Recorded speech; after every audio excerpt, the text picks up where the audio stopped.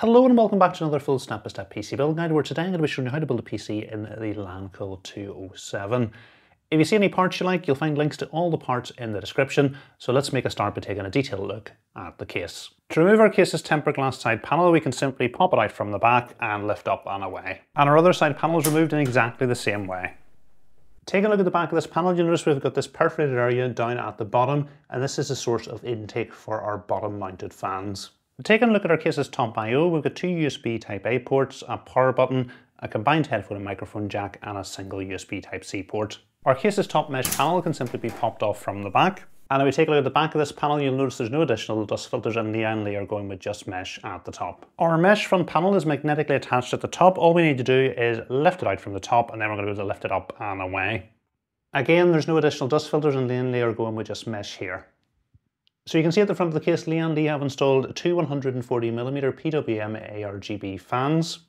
And we've got a removable dust filter over our power supply's intake on the bottom of the case and it can simply be pulled out from the front for cleaning. In terms of other fan and radiator support, at the top of the case you can mount up to three 120 or 240mm fans or up to 360 or 280mm radiator, while at the rear of the case it's up to a 120mm fan. If we take a look down at the bottom of the case, you can see Li have installed two 120mm PWM fans set to intake, so this should be bringing plenty of cool air into your GPU. And those fans are going to get their intake through this large perforated panel on the side. It's held on with two captive thumb screws at the back. And once they have been loosened, we're going to be able to pull this panel backwards to remove it. There's two important design features to make sure these two fans provide the most airflow to your graphics card. And the first is our power supply is actually going to be mounted at the front of the case, meaning that there's nothing obstructing the airflow underneath these fans. The second thing, if you follow this panel along, you'll notice that our motherboard is actually going to be recessed backwards keeping it well away from these fans. So the only thing above these fans should be our graphics cards. As you'd expect with the motherboard tray being recessed, there's no support for back connector motherboards. You can see we don't have any additional cutouts. And in terms of motherboard support, the case is compatible with up to ATX size motherboards. If you want to go with a CPU cooler, the maximum height supported is up to 180 millimeters. You can see at the rear of the case we've got seven horizontal PCI expansion slot brackets and in terms of graphics card support the maximum length supported is up to 375 millimeters. So our graphics card should be well supported in this case with this GPU support bracket and it can be installed in three different positions. You can see it's currently the middle slot, but it can be installed here for smaller graphics cards and over here for larger graphics cards. So your graphics card is 315 millimeters or less, you're going to install in this slot.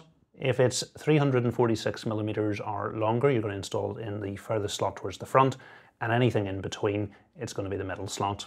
So for the graphics card I'm going to be using, we're going to install it in the slot furthest towards the back of the case. So all we're going to need to do is remove the thumb screw. We can then slide the support bracket along and replace the thumb screw. So I'm not going to put it in all the way yet because what we're going to do is slide it up to where it supports our graphics card and then we can fully tighten the thumb screw. Moving to our rear compartment, and you can see cable routing space looks to be excellent. And as you'd expect, coming from Lian Li, the cable management is going to be great. So we've got plenty of clips with Velcro cable straps here, and we've got some plastic clips up here for managing our EPS cables. So as I mentioned, our power supply is going to go at the front of the case here.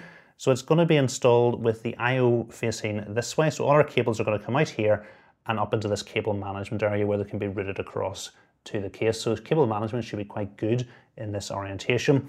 The only slight limitation, because it is being installed in this orientation, is the length.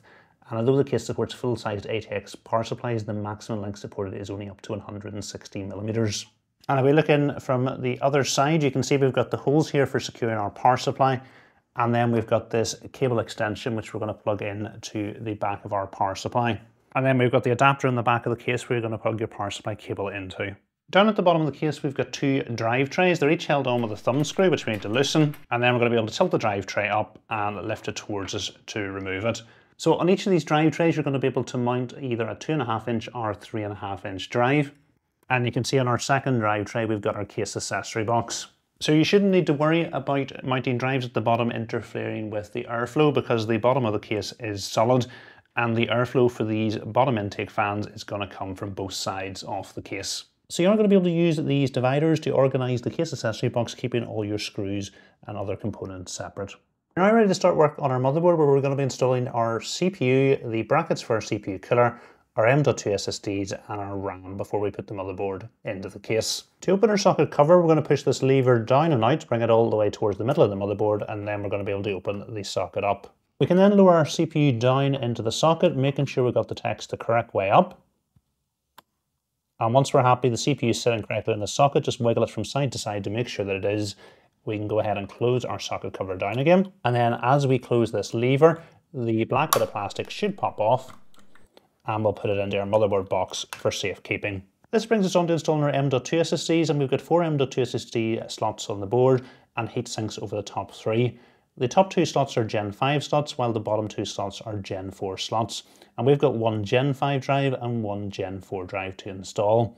So we're going to be installing our Gen 5 drive in the top slot. The reason for that is the second slot down shares PCIe lanes with our top uh, PCIe slot. And if we install our drive here, the PCIe lanes for our graphics card gets reduced from 16 to 8. Top slot, there's no limitations. It's exactly the same with our bottom two slots.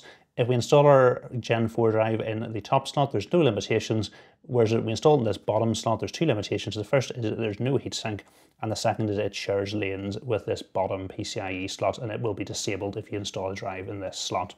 So we're going to be installing our Gen 5 drive in the top Gen 5 slot, our Gen 4 drive in the top Gen 4 slot. So we just need to remove our heatsinks. And then we can take our Gen 5 drive, pop it into the slot, and to secure it, all we need to do is push it down. It's going to clip into place. And then same thing with our Gen 4 drive.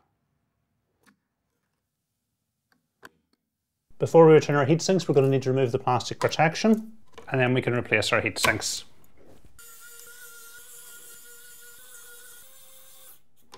We're going to be installing our RAM in the second and fourth slot along from the CPU, so we'll open the clips on these slots.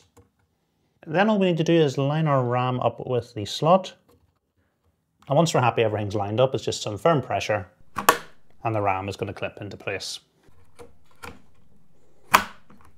So we're going to need to remove the stock clips from the motherboard. They're each held on with two screws. And then we've got a stud bolt to go onto each corner.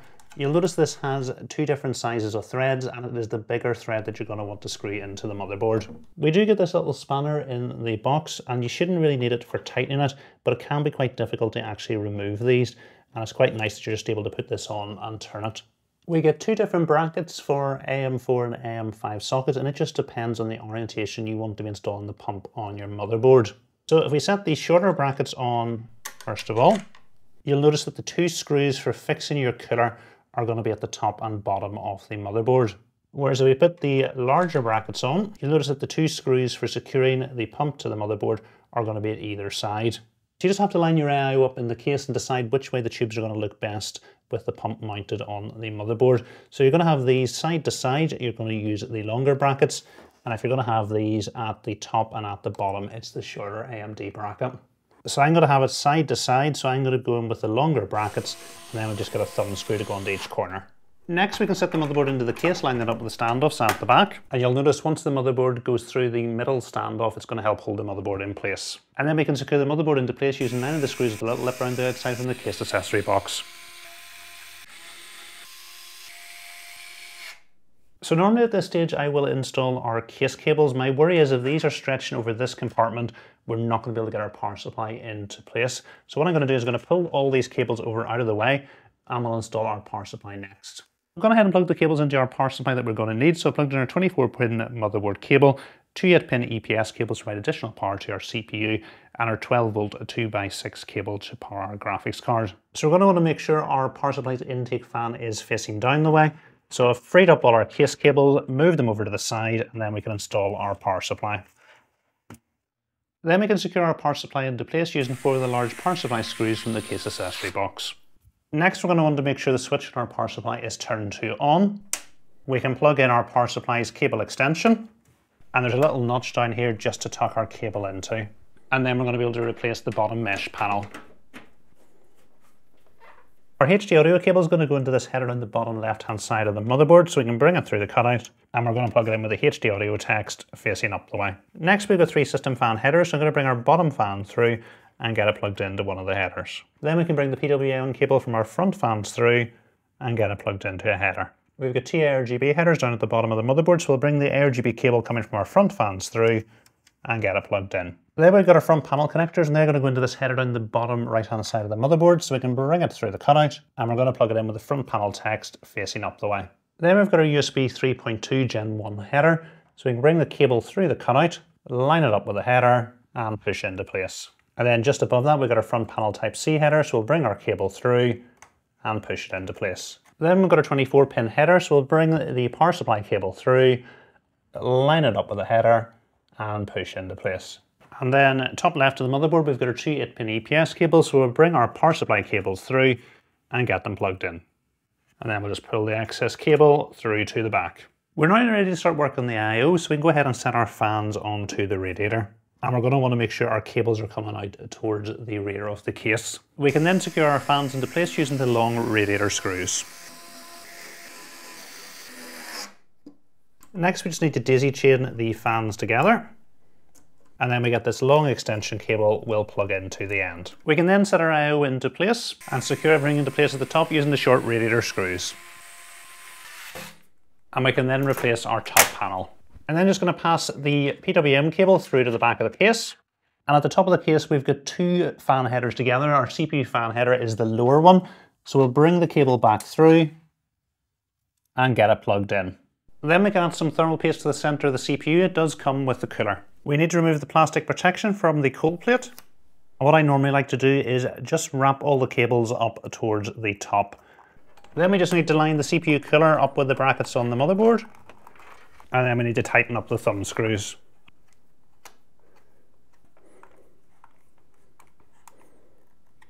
Our AIO pump header is just up here, not the easiest to get a great shot of it, but we can bring the cable up and get it plugged in. So I'm just going to route our ARGB cable up to the back, and we've got an ARGB header here, so I'm just going to bring it back in through the cutout and get it plugged in. In the box we do get these clips which can help organise your tubes, but I actually think our tubes are sitting okay without any clips on them. So we can set a 120mm fan into place at the back, and we can secure it into place using the included fan screws. I'm then just going to pass the fan cable through to the back, now, unfortunately, this fan cable is just a little bit too short to reach our motherboard. We do have a fan header just beside our top M.2 slot, but then we're going to have this adapter on display. So what I'm going to do is just add a cable extension into the fan, and then that's going to be able to reach our motherboard. And then we've got one spare fan header down at the bottom here, so we'll get it plugged in. We're now ready to install our graphics card and we're going to need to remove the second and third expansion slot cover from the top. We can then line our graphics card up with the slot and once we're happy it's lined up correctly, it's just some firm pressure and it is going to clip into place. And then we'll secure it with the two thumb screws we've just removed. We can slide our GPU support bracket up to where it's supporting our graphics card, and then we just need to tighten the thumb screw at the back. Very important test with any GPU support bracket is to check it's not obstructing our fans. So the fans on our graphics card are spinning well and the bracket is well away from the fan. Then we can bring our GPU power cable through, line it up with our graphics card, and push into place. Okay, last thing to do is some cable management and get the panels back on again.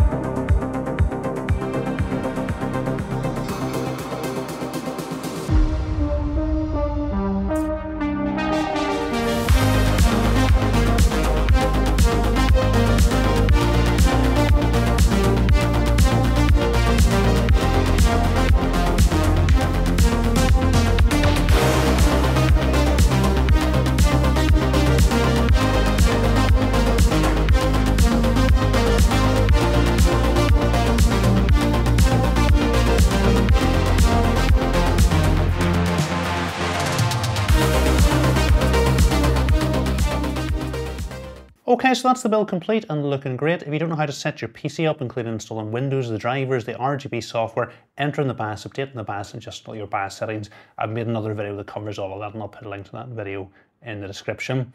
What I'm planning on doing now is some thermal testing, and then I'm going to be back with a case review. So you want to find out what I thought about this case, you're going to want to check that video out, and you'll find a link to it in the description. If you have enjoyed this video, please remember to give it a thumbs up, and if you're not currently subscribed to the channel, please hit the subscribe button as well. Thanks for watching.